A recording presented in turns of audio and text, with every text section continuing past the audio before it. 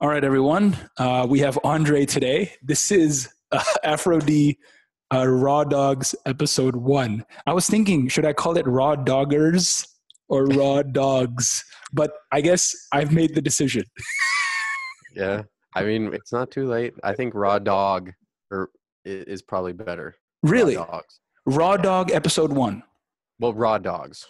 Raw Dogs with an Like, S. Yo, it's like what up, my dogs? You know, D O G S, D A W G S. dude. I, I pictured the D A W G S for some reason. I don't know Ah, why. Got it. R A W It's just more hip. D A W. Raw Dogs. Raw Dogs. There you go. No doubt. Go. Okay. okay. So Andre is one of our raw dogs, and he's here for the first ever episode for me talking about the raw dogs. And every single one of these videos will have one very specific topic. We're not going to go into like million different things and transition. No, no, no. It's one topic. Today's topic is how Andre expresses his subconscious through music. That's the topic. And look, Andre has a puzzled look on his face because he didn't know this. It's everyone's gonna be surprised. No one's gonna know because I know all these guys personally, and I would, I'm, I've been craving to know this man for years, right? Because Andre, why don't you demonstrate to us what you do? Go ahead. Oh, dude, I actually can't. I'm actually getting over a sickness right now. You can probably hear it. So, but I mean, Okay. there's there's videos. Just check out my YouTube channel. You'll see. So you see Andre here, looks like a very innocent little little baby, but when you see him producing his his his his music, perf- his performance is just. I'm shocked that this is Andre because he screams and it's like, what is it called? Rock? What what kind of music is this? It, it's like it's like metal screaming. Metal screaming. Yeah. Yeah. So I I want to know, Andre, like, how, how the hell did this happen to you? Right? Like, what happened, man? Damn. Um, I mean, growing up, I liked a lot of hard rock. Uh, really, the first time I heard screaming music, I was like, "What the hell is this shit?" Like, you, I have no idea what they're even saying. What this is just this just comes off as pretentious and stupid. uh, but damn, I mean, something must have changed because my friend had gotten me into a bit more of the heavier music and a lot of the bands I was listening to, their old stuffs, they were screaming. So it was like, oh, how how'd they get from here to here? Because I like them here, and then I eventually just went back, and it's like, you know, this is actually pretty good. I don't. It's weird. You just get exposure to it, and then at some point it clicks, and you're like, this is actually pretty sick. Huh. So you're you're just you basically do you write your own lyrics and then you what do you do? What's the process, man? Yeah, so as of right now, I'm in a band. It's uh, the project is called Below Fiction. We are probably going to change that, but um, so what I do, I'm obviously the vocalist. I do the uh, writing of the lyrics and uh, lyrics. Like I used to write poetry all the time, so it really clicked. And one thing with me is melodies like just don't come to me. So it's almost like a crutch in a way because I just have to scream it. Like it's more either is it high or low because it's not a real note. So so I'm really good at writing lyrics. I'm really good at like the iambic pentameter, like the flow of Mhm. the words. Um, you know, kind of like rap. And there's there's kind of a rap element to our newer stuff, which is which is cool. But uh, but yeah, dude, writing is a big outlet for me, along with just fucking screaming because I used to be the kid in high school that would be just stone quiet. I wouldn't say anything. I was that shy kid. And then, you know, I've I've never been up on stage. I was never a stage kid. I was never an athlete. Surprisingly, I kind of should have been. But um, once I got up on the stage and I got confident with my group of guys uh, in my band, uh, first time on stage was just it was just a crazy experience like i just got right up there we did everything that we had rehearsed the the confidence was there and uh it just really built up from there but it was just outletting and screaming hearing your voice echo across the whole venue it it was life changing, bro. I, I really that feeling. life changing. Fuck. Yeah. Wow. I mean, from being like the shy kid in high school where everyone just kind of blew you out to the side, just be like, oh, yeah, he's a nice kid. And that's it. Um, to just kind of showing a side of my life and who I am that's really edgy, you know? Hell yeah. Metal screaming. Now, let's say one of us wants to do this. We can't just do it in our apartment, right? Like, what do we need? Some kind of soundproof, like Darth Vader mask? Like, what do we do? I mean, well, first of all, I'd probably what I do in my car is like I'll listen to my, my music, and the thing is, it, the music has to be really loud because you don't Ah. want to over scream like over the music because there is a balance, and if you hear anyone screaming without music, it sounds bad. Even in the studio, if they're professional, it just sounds bad. I don't know why, but I mean Oh. that's how I practiced. Um, I used to play like this rock band video game, and you'd have the microphone, you'd sing or scream, whatever. And some songs had screaming, so I would try to learn how that person was screaming from hearing it, and uh, and that's really how I started. Super great. Wow. When you scream, is it literally the loudest possible you can do? So there's different types of screams. Um, like the low scream, which is called false chord. It's actually like the folds beneath your vocal cords, so it's not your vocal cords getting the damage or you know just Hmm. that harsh sound. Um, ideally, because some people do it wrong. But um, those are not as loud as like high screams. Like high screams are much more up here in like the back of your throat. Uh, those are pretty loud. So um, so when we record you know a lot of times i'll i use the same mic by the way when we record um, i'll have to back up because if i'm doing like a high really quickly because it just is just piercing so Hmm. I want to get a little bit deeper into the this the, like psychoanalysis of this. It's, I'm really interested in it because I remember when I was at Strength Camp, one of the things Elliot had us do was, you know, when you do the thoracic extension, right? You you have a fucking uh, uh, uh, the foam roller and you just lay back like that. So what Elliot would do is imagine I do this like every day at the gym. It's fucking weird. Like I I, I do, I'm there and then I make my face like and I'm just like going crazy, right? And I'm upside down. So if someone opens the door and like sees me, like what the fuck?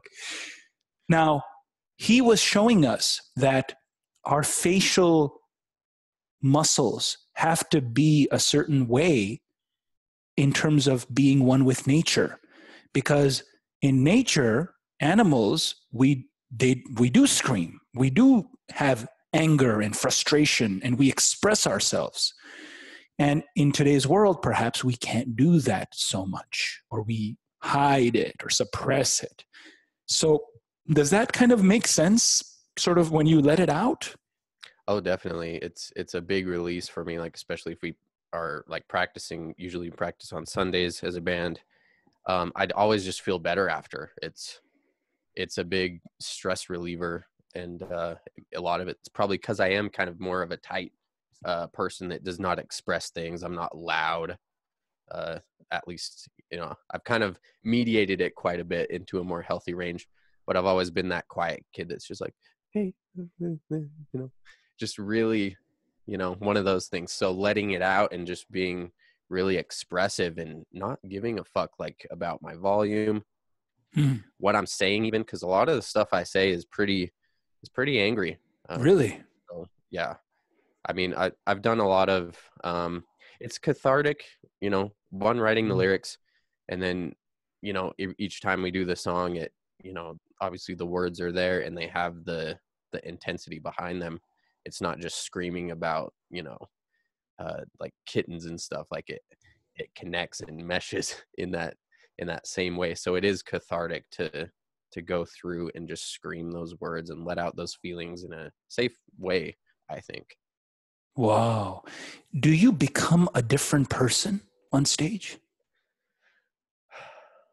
you know i don't i wouldn't say so because the lyrics are so tied to me and my inner feelings it's more like I, I am who I am, but this is a side of me that I don't really show because, you know, society, you know, societal pressures or me just wanting to be to come off as a nicer person. Uh, you know, like Mm. I'm I'm really even keel and balanced with my views on things like spirituality and religion.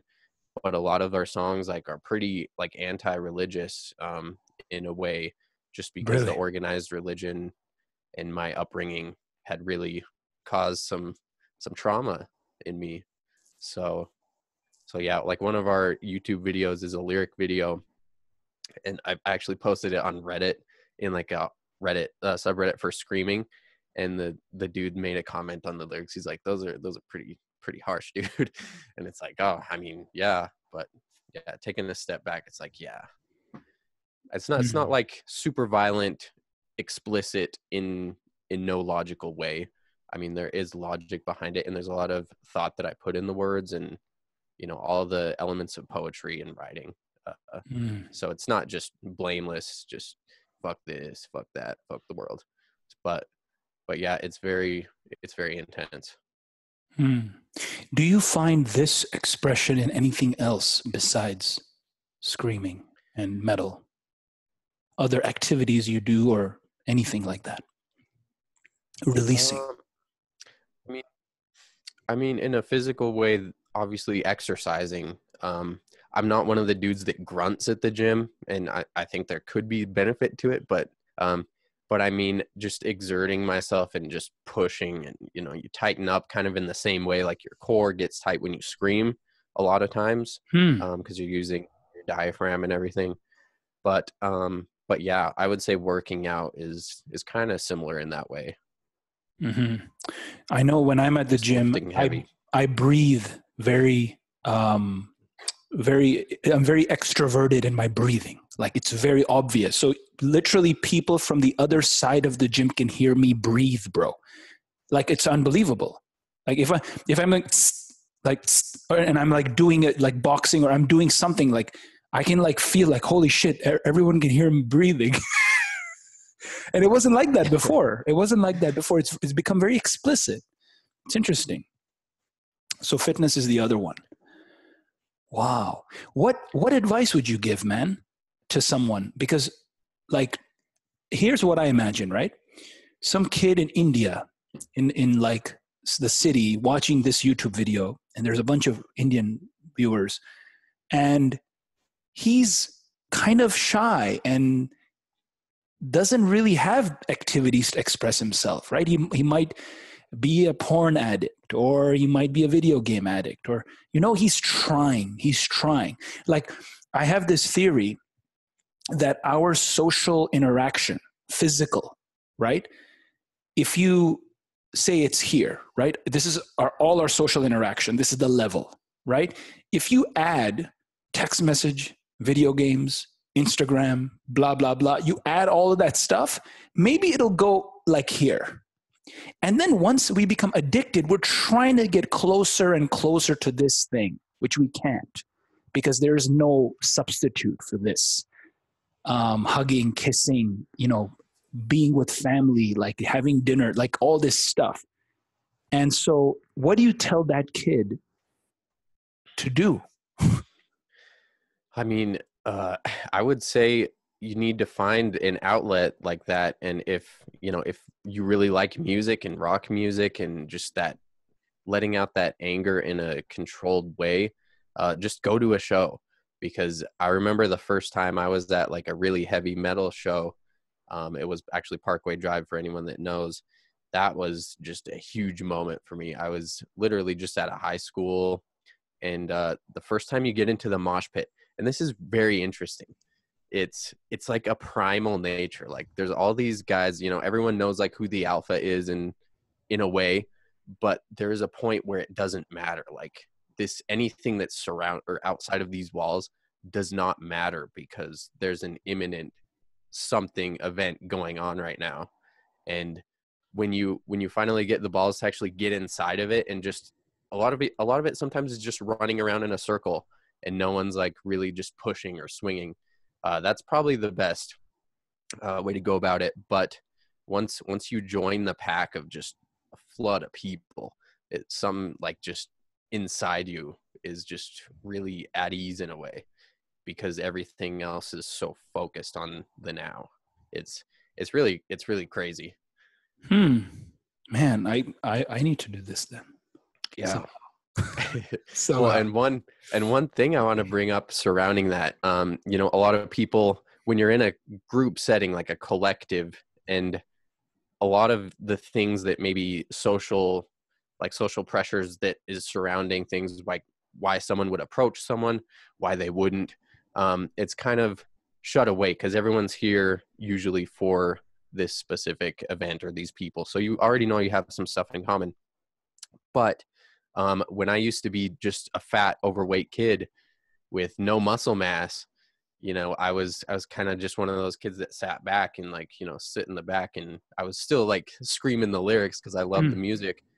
But uh, it really changed um, in the past like four years as I started working out, uh, doing a lot more healthy stuff, uh, eating well, and now a lot of people come up to me and they're like, "Hey," like they point up to the ceiling, they're like, "Hey, can you push me up to crowd surf?"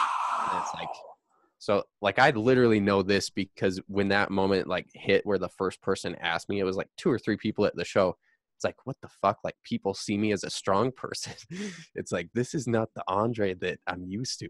Like a lot of people come up to me and just are like, Hey, can you pick me up? And I'm like, I mean, I guess I probably could.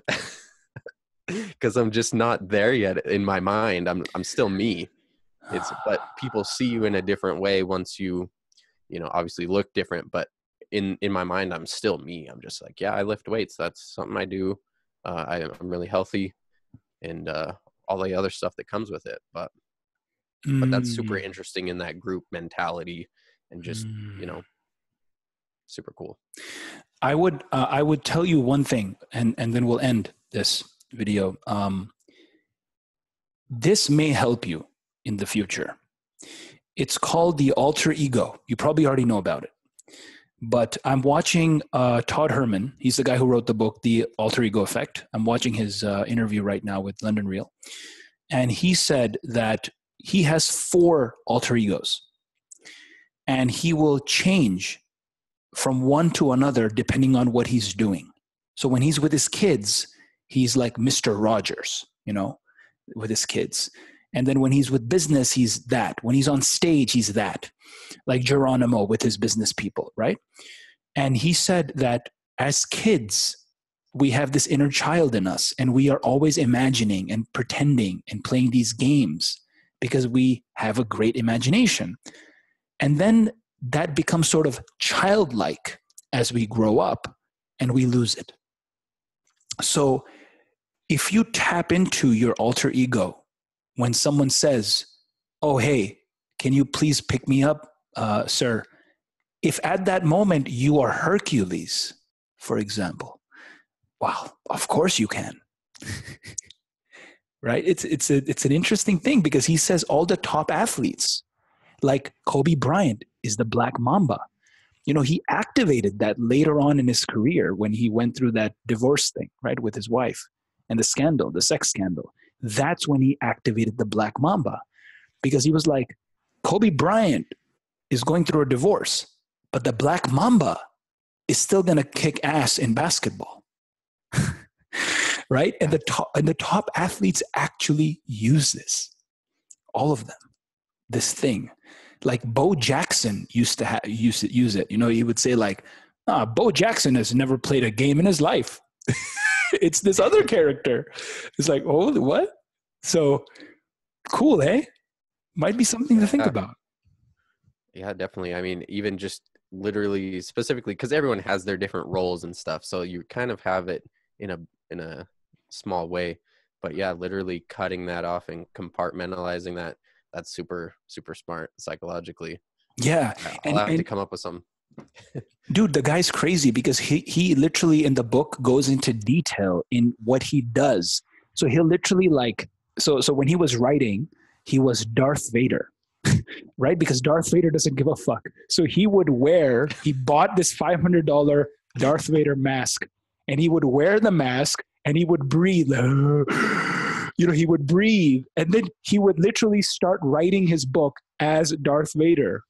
Like he went through this craziness, right? Or like he'll like touch his ear and like flip a switch, like physically. He'll like flip a switch, or he'll wear glasses, uh, non-prescription, to be smart in an interview. Like he Yeah. literally does it like a religion, man.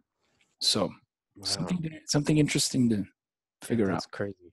One Yeah. one stupid thing. Uh, I actually, you know, as a kid, I would go to like amusement parks, like locally, and I would be Sonic because I, I used to play video games. That blue hedgehog, Ah, yeah, you know, he runs around, does like loop de loops and stuff, and I'm like, okay, we're gonna go on this roller coaster. We're gonna do the double loop, but Andre's freaking scared right now, so I'm Sonic. So you know, it's kind of a childish thing, but ch- children do do that Yeah. you know, I went to a phase like I'm Batman. It's like I don't know why, but I'm Batman. but that's very interesting. Yeah, bro. Very cool. And and he says when you are in like sometimes we have the skill to do what we need to do. It's only social pressure that stops us. So if we become this other character, then it's over. Because you're acting through that character. And it's not the character, it's what the character represents in your mind. That's what it is. So, good shit, bro. Good shit. Awesome. Awesome. All right. Thanks, dude. Thanks a lot for Thank you. sharing your really inner, inner details with us. And uh, I'm sure the viewers will give this a shot. This music, screaming metal. Check out your stuff. I'll post a link to your channel so they can check out your channel. And, uh, you know, guys, subscribe. This guy's, uh, for a lot of them don't know this because we didn't really talk about it, but Andre is my intermittent fasting teacher, my extended fasting teacher. You know, whenever I'm in trouble, I'm like, oh shit, I'm four days in a fast. This is happening. What do I do, Andre? He has the answer, or at least some tip to help me. So, and he'll be making a lot more videos about intermittent fasting and, and extended fasting, whatever, raw fasting, water, you know whatever you want to do he he knows his shit um doing those seven day fasts and whatnot so uh yeah man Yeah, man. any any uh any f- you know near future content happening that that you're feeling Uh, so I'm looking forward to doing the intermittent fasting ones. I'm actually going to take my time on them and edit them uh, pretty well, awesome so people can just digest it because it, it can be hard. Uh, pardon the pun, but yeah. So look look for those, and of course some screaming videos. I'm I'm still going to do those on my channel. So check it out. awesome thanks andre Thank you, Farhan. i'll see you soon bye man See you soon.